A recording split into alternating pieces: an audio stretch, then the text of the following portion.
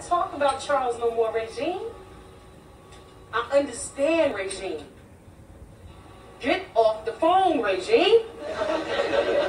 I am your friend. Look, just go blow your nose, stuff your face, and get over it, okay?